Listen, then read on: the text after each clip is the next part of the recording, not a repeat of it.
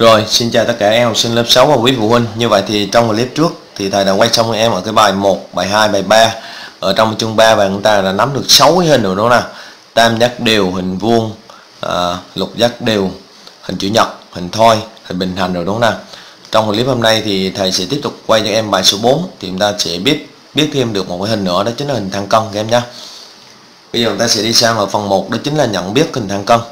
Ta sẽ đi sang hoạt động 1 bằng cách à, gấp giấy và cắt giấy em nhé gấp miếng bìa có dạng hình chữ nhật ABCD sao cho định A trùng với định B định D trùng với định C. Rồi ok.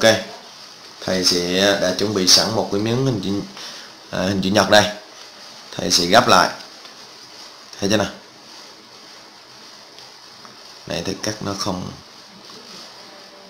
Để để thầy cắt lại. Đây này, để, để, để cắt cái cái đường này cho nó nó bằng lại các em nhé. Rồi. Ok chưa nào cho là không, chúng ta phải phải vẽ chính xác ở cái đường này nhá chủ nhật. Rồi. Đây. Thấy chưa? Đó. Gấp lại là sang ở hình này này sau đó gì? Ta nhận được miếng bìa EADG là miếng bìa này. các miếng bìa hình tam giác ADH từ miếng bìa AEDG. thấy không thì bây giờ thầy sẽ dùng uh, bút luôn nha đây. thầy dùng bút và thước thầy sẽ vẽ như vậy thì từ uh, cái anh D này anh D này thầy sẽ vẽ DH là đây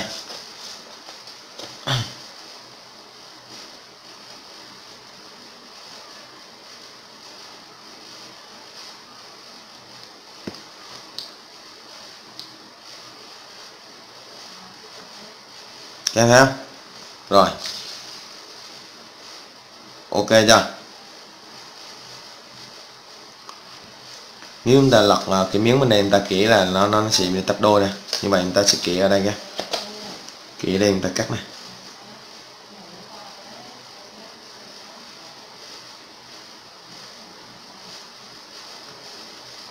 Cắt phía bên đây nhé.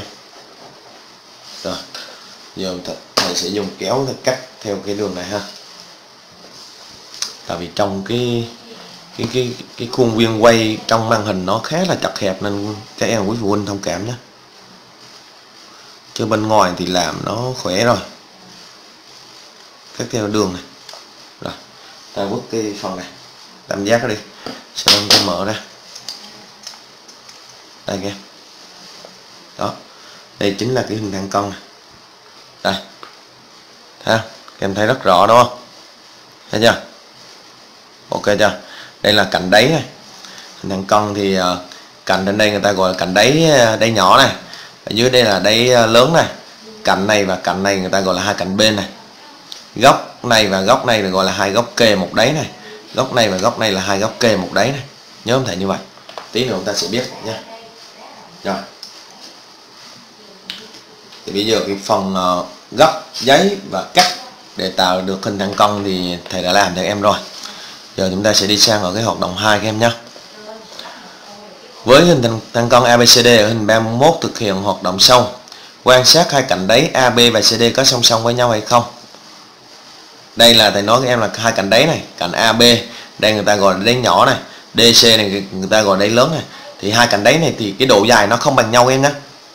Nhớ độ dài của nó không bằng nhau nhưng mà từng người ta hỏi là có song song với nhau hay không? Thì em trả lời là có song song. Có song song với nhau. Được chưa? Sử dụng thước thẳng, có chia, đơn vị để đo độ dài các cạnh AD và BC AD và BC em thấy AD và BC thì hồi nãy thầy đã nói với em là đây chính là hai cạnh gì? Đây chính là hai cạnh bên. Và độ dài của hai cạnh bên này thì sẽ bằng nhau em nhé là ở đây chúng ta có là AD này sẽ bằng với BC được chưa? Độ dài hai đường chéo à, AC và BD đây AC và BD hai đường chéo của nó cũng sẽ bằng nhau. Được không? Như vậy thì tương ứng ở đây là AC thì cũng bằng BB BD được chưa nào? Tiếp tục. Gấp hình thang con ABCD sao cho cạnh AD trùng với cạnh BC nghĩa là gấp hai này lại. Đây. Đấy may quá thầy vẫn giữ được cái hình thang con này. Nghĩa là cạnh uh, đây là cạnh AD đây là cạnh BC chúng ta gấp lại cho hai này trùng nhau. Thấy chưa? Thấy chưa nào? Gì nữa đây nè? Định A trùng định B. So sánh cái góc DAB à, DAB nghĩa là góc này này. Thấy không? DAB nghĩa là góc A đây và góc CBA CBA là góc này Thế nào? nghĩa là chúng ta sẽ so sánh hai góc này cái góc này này với góc này này, như này chúng ta gấp lại, thì hai góc này như nào với nhau, có bằng nhau không? Có. Hai góc này bằng nhau không? có. Nghĩa là hai góc kề một đáy. Nghĩa là ở đây này, ở đây người ta gọi là đáy đáy gì? Cái đường đến đây này. Đây gọi là đáy nhỏ này. Nghĩa là hai góc kề một cái đáy nhỏ này nó sẽ bằng nhau. Hai góc kề đây lớn, đây, góc này và góc này, đây là đáy lớn. Hai góc kề một đáy lớn này nó cũng sẽ bằng nhau. Nhớ thầy như vậy nhé như vậy thì ở đây chúng ta sẽ có là cái cái góc DAB uh, sẽ bằng góc CBA tương tự như vậy góc D ở đây. ADC góc D đây sẽ bằng góc C ở đây. Ha góc ADC nó sẽ bằng góc BCD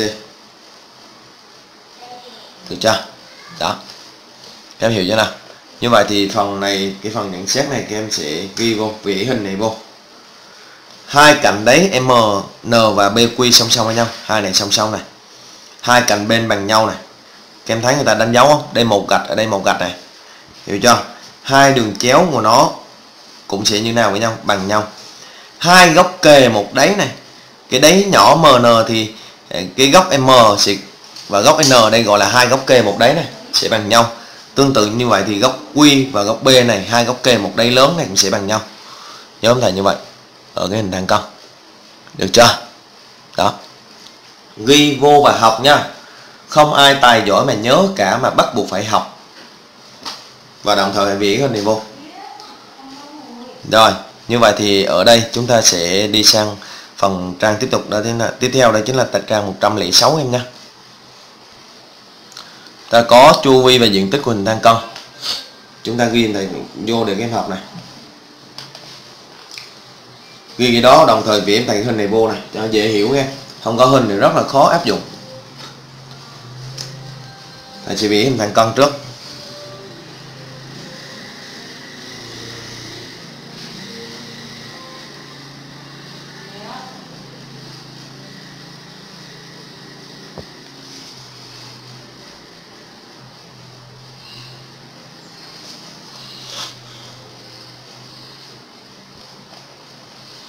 Cần cho nó đều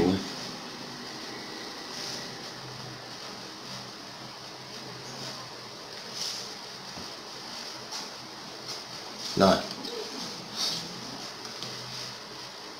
Có cái đường cao này. dù ở đây là A, B, C, D và D H. Rồi. Giả sử như chúng ta có cái hình thang cong như thế này ha, thì bây giờ thầy đọc và thầy sẽ chuyển thành công thức để các em hiểu nha. Và em vẽ hình này vào trong vở giùm thầy này. Chu vi của hình thang cân, hình thang bằng tổng độ dài các cạnh của hình thang đó.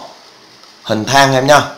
Như vậy thì nếu như một hình thang bình thường, ở đây thầy vẽ hình thang cân thì chứng tỏ là B với D này sẽ bằng nhau này. Nhưng mà ở đây chúng ta hình dung là một hình, nếu mà hình thang này, chu vi hình thang chu vi hình thang. Hình thang em nha hình thang thì C này, nó sẽ bằng là A cộng B cộng C cộng D. Còn nếu hình thang cong thì B với D này sẽ bằng nhau. Nếu là hình thang cong. Được chưa?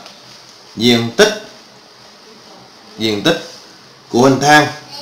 Diện tích của một hình thang bất kỳ thì các em sẽ lấy là chiều, thể loại đáy nhỏ là A, còn đáy lớn là C nhân với chiều cao là h.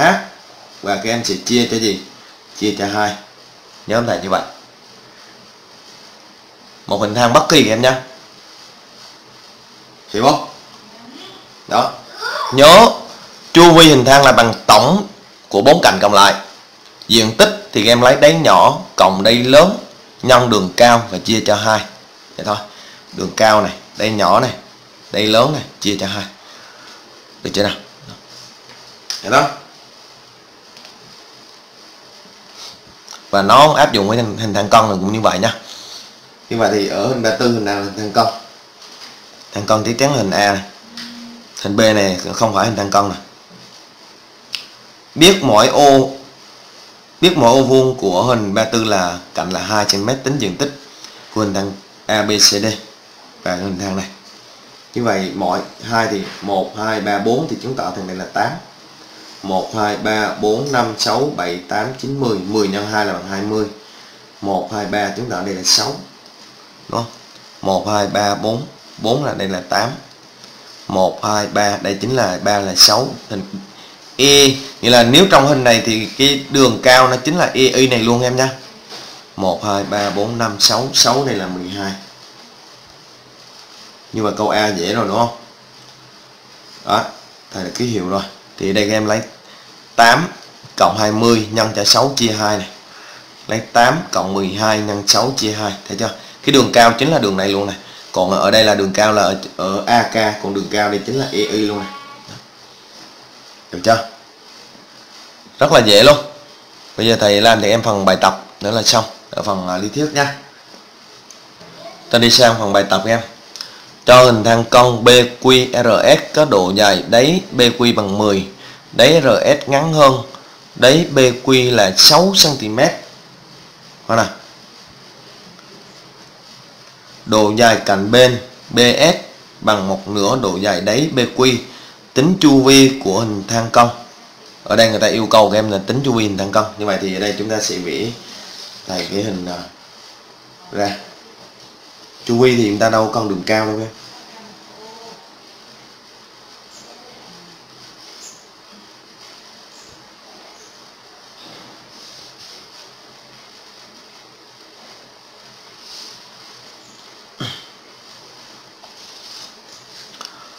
BQRS BQRS có độ dài uh, có độ dài cạnh đáy BS à thành loại BQ thì bằng 10 cái đáy RS ngắn hơn đáy BQ là 6 đúng không? Ngắn hơn cái đáy BQ là 6 thì chứng tỏ RS này là mấy? Là 4 chứng tỏ này BQ các em đặt ở phía dưới đây này. Trên đây BQRS là trên này. Chứng tỏ thằng này là 4 thằng này là 10 đúng không? Thầy đọc lại này. Cho hình thăng con BQRS có độ dày đáy độ dài đáy chúng ta là, đây là BQ này. Đây BQ này là bằng 10 đúng không? Đáy RS này, ngắn hơn. Ngắn hơn đáy BQ là 6 cm Ngáy ngắn hơn đáy BQ là 6 cm thì chứng tỏ anh RS này sẽ bằng là BQ trừ cho mấy trừ cho 6 nghĩa là bằng 10 trừ 6 là bằng 4 cm này. Nhìn ở đây. Độ dài cạnh bên BS bằng một nửa độ dài đáy BQ như vậy thì BS này bằng một nửa nghĩa là 1 phần 2 nhân với BQ như vậy 1 phần 2 BQ chúng ta là là 10 chứng tỏ là bằng 5 cm chứng tỏ thằng này là 5 và thằng này là 5 đúng không? Tính chu vi. Như vậy thì cái anh BQ của chúng ta sẽ bằng với BS tại vì nó là hình uh, hình ăn cong chứng tỏ là mỗi anh này bằng 5 đúng chưa nào? Vậy chu vi của cái hình thang cong. Ờ, à, BQRS là các em sẽ lấy là gì em? Các em lấy là BQ cộng cho gì? Cộng QR cộng RS và cộng cho SB nghĩa là ở đây nó sẽ bằng là gì? 10 cộng 5 cộng 4 cộng 5 kết quả là bằng 24 cm đúng không? 24 em. Ok chưa? Các em rõ chưa nào? Nghĩa là dựa vào cái uh, kiện của đề toán các em vẽ cái hình ra. Sau đó để tính được chu vi của hình thang hoặc là hình thang cong. Không? Mà cụ thể là cái cái bài này là hình thang cong. Hình thang cong thì hai cạnh bên của nó sẽ bằng nhau. Được chưa nào? Nên là ờ, người ta sẽ cho cái số liệu để các em tính các cạnh của nó. Thì các em sẽ lấy bốn cạnh nó cộng lại thì ra được cái chu vi của hình thang cong. Được chưa? Đây là r này nhé r này, đây s này. Đây b, đây q. Rồi. Được chưa nào? Đó. ta phải đọc kỹ đề. Trên đề bài người ta cho cái gì? Hiểu nè cho cái gì? Và cái điều kiện đó để giúp cho người ta tính cái gì và người ta, khi tính được, người ta áp dụng công thức nào để các em làm. Về phần bài tập, thì trong đây, nó có ba bài các em. Bài tập này, một này hai này, cái việc mà cắt và ghép thì các em nên ờ, chuẩn bị trước và tự làm, gần như là tự làm các em nha. Đấy, thầy sẽ dạy cho các em các cái bài có sự tính toán về hình chẳng hạn đấy. Hay là chọn các hình vẽ, bài số 3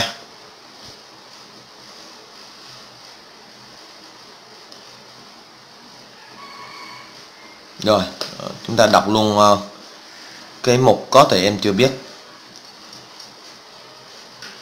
À, ở đây là trong thực tế chúng ta sẽ thấy được các cái cấu trúc mà các cái hình ờ, có nhiều hình dạng là tam giác đều hình vuông hình lục giác đều hình chữ nhật hình thoi hình bình hành hình thang cân chẳng hạn các hình này. Đây là gì? Lục giác đều này cái tổ ong này này ốc 1 2 3 4 5 6 này lục giác đều này đây là gì? Hình thoi này thấy hình thoi không? Đây là hình thang cân này. Thấy hình thang cân không? Tam giác đều này đây tam giác đều này đây là hình vuông này hình chữ nhật này. Đó, hình chữ nhật luôn này. Đó. kém hiệu hiểu chưa nào rồi, hình tam giác đều hình tam giác đều này. Hình vuông này, hình chữ nhật này, hình chữ nhật này. Hình thang cân này, hình thoi này, hình thoi này. Hình lục giác đều này, hình lục giác đều như vậy clip này tới đây kết thúc em nhé. Trong clip tiếp theo, thầy sẽ quay tiếp cho em ở phần bài tập của bài này. Chúc em học tốt, bye bye. Rồi xin chào tất cả các em học sinh uh, lớp 6 và quý phụ huynh. Như vậy thì trong clip trước thì thầy đã quay xong cho em ở cái uh, clip ở cái tiết mục bài số 4 hình thang cân chúng ta đã nắm được cái dấu hiệu nhận biết cách vị hình thang cân cũng như là cái uh, cái việc mà tính chu vi về diện tích của hình thang cân ha. Thì bây giờ đây chúng ta sẽ tiến hành làm bài tập em nhé hôm trước thầy nói các em tự làm nhưng mà thầy đã chuẩn bị sẵn nha. Thầy uh, vị sẵn và thầy đã cắt cho các em hai tâm cái phần tam giác đều và phần hình lục giác đều này cái việc vẽ hình lục tam giác đều này cũng rất là dễ nha nha à, chúng ta sẽ vẽ bằng công ba các cái dao nghĩa là vẽ cung tròn các cung tròn là cắt nhau ở hai bên. Và em sẽ vẽ mà nói các cái điểm này ra. Bây giờ thầy sẽ nói làm cho em xem luôn nha. Với một lần cắt hạt gấp à, hãy hãy tạo ra à, hình thang cân từ à, mảnh bìa cái dạng hình tam giác đều mảnh bìa cái dạng lục giác đều, đây, các em nhìn đây. Đầu tiên, đối với tam giác đều, tam giác đều thì là một cái tam giác nó có ba cạnh bằng nhau, cạnh này cạnh này và cạnh này bằng nhau. Ba góc của nó cũng sẽ bằng nhau và bằng 60 độ.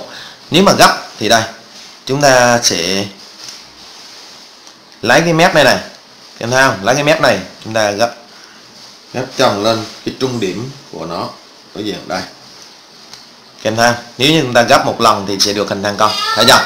Còn nếu như em cắt đấy thì chúng ta sẽ cắt chúng ta sẽ cắt uh, ngang cái đường ta vừa mới gấp. Đấy rồi. Thấy chưa? Rất là ok luôn. Cái bàn tay này. Bàn tay. Không biết uh, làm giáo viên ờ, bạn bè thầy nó làm công an với lại ngân hàng với kỹ sư hết nha. Thầy làm giáo viên dạy em này ok chưa một hình. Cũng phải cố gắng uh, cắt và vỉa vừa mới cắt vỉa cho em sau này rồi đó là tam giác đều ha. Bây giờ uh, lục giác đều nè. Đây lục giác đều thấy chưa?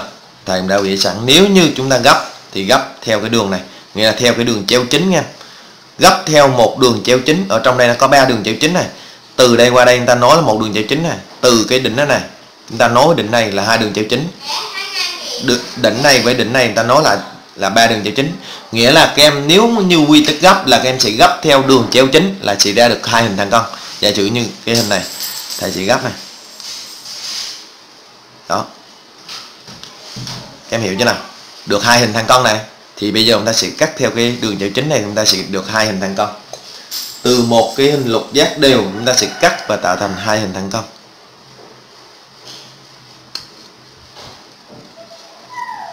đó như vậy cái bộ sách này thì luôn luôn phải có kéo và giấy. Bút màu bút tô em. Để hai hình thành công ok. Hiểu chưa? Rồi. Được chưa nào?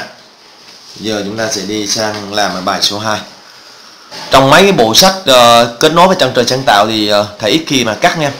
Bữa nay tìm được cái kéo này rất là bén nên là cũng khá là thích cắt. Đây. rồi ta đi sang bài số 2 nha cho hình thang con ABCD có độ dài đáy AB là bằng 4 cạnh độ dài đáy CD gấp đôi độ dài đáy AB gấp đôi ngay đây 4 thì CD sẽ bằng mấy? Sẽ bằng 8 chiều độ dài chiều cao AH là bằng 3 tính diện tích trời ơi quá là dễ ha. Em nhìn nè. Tao vẽ hình thằng con ra à, vô. Bây giờ này nhìn thầy lấy cái cái cái hình này thầy làm luôn nha. Nhủ đây là A B đúng không? A, B, C, D. Khỏi con vẽ. Có gì đây? AB đây bằng 4 đây 4 nè. Đấy là gấp đôi, nghĩa là cái anh CD là mấy? CD ở đây là bằng 8 chiều cao. Chút nào? Chiều cao bằng mấy? Bằng 3 đúng không?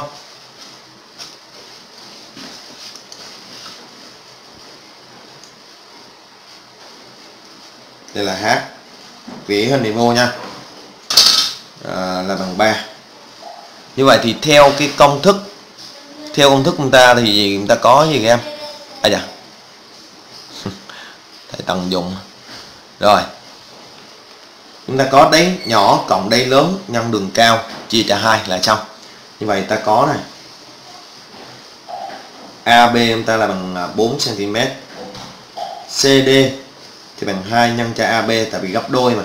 Lấy 2 nhân cho 4 thì bằng 8 cm ta có chiều cao AH ta bằng 3 cm như vậy, cái diện tích S của ABCD sẽ bằng là AB cộng cho CD nhân cho AH chia cho 2 ta đúng công thức để em làm thôi. Như vậy ở đây nó sẽ bằng là gì?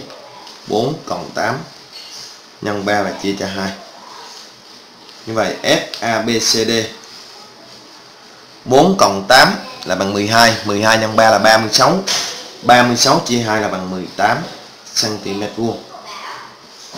Được chưa? Xong. Vẽ hình vô các em nha, và làm tương tự giống như thầy. Như vậy thì à, chúng ta đã có à, sẵn và giải cái bài số 2 được chưa? Chúng ta sẽ đi sang ở cái bài số 3 anh em nha các em muốn ghi chép gì đó thì bấm dừng lại nha. Ok đi sang bài số 3 đây sang bài số 3 em. Người ta làm một cái à, chụp đèn có bốn mặt giống nhau. Là bốn cái mặt này là giống nhau. Mặt thứ nhất là mặt thứ hai mặt thứ ba và mặt thứ bốn này em hiểu chưa nào? Và cái các mặt này là dưới dạng là hình thang cong được chưa nào? Trong đó, khung của mỗi mặt được cấu tạo bởi các đòn ống trúc nhỏ. Đòn ống trúc để làm các cành đáy lớn, dài đây là đây lớn này, đây là 20 cm này. Đáy nhỏ dài là 12 Nghĩa thầy đang đang làm một mặt. Giờ các em sẽ tính một mặt là nhân cho 4 Tại vì bốn mặt này là giống nhau, Các em hiểu chưa nào? Và đòn ống trúc để làm các cạnh bên dài, Ở đây 30 Ở đây 30 thì thằng này cũng sẽ 30 ở đây à, 12 Ở đây 20 Ở đây 30 này Các hiểu nào Hãy tính tổng độ dài của các đoạn ống trúc dùng làm một chiếc. Chụp đèn như thế. Thì bây giờ chúng ta sẽ tính một mặt. Một mặt hình thằng con. Sau đó nghe tính chu vi á. Nghe các em sẽ tính chu vi của một mặt hình thằng con. Sau đó các em sẽ nhân cho 4 thì ra được tổng cái đoạn trúc mà làm hết cây đèn này. Các em hiểu chưa nào? Đấy. nhưng mà các em ghi thì là chu vi. À, chu vi uh, một mặt của cây đèn là như vậy chu vi một mặt của cây đen thì các em sẽ lấy độ dày ờ, bốn à, cái ờ, cạnh nó là lấy 12 cộng 30 cộng 20 và cộng 30 sẽ bằng. À, như vậy thì em lấy 30 à, cộng lại nè 60 80 80 cộng 12 là bằng 92 cm sau đó chúng ta sẽ tính tổng. Vậy tổng độ dài của các đoạn ống trúc dùng để làm một chiếc đèn. À, một uh, chiếc chụp đèn là như vậy các em sẽ lấy 92 các em nhân mấy nhân 4 tại vì nó có 4 mặt. Các em hiểu không? Như vậy 92 mình nhân cho 4 thì bằng là 368 luôn 368 cm để thôi. Các em hiểu ờ, cái cách làm của bài này chưa nào? Nó rất là dễ thôi. Đấy.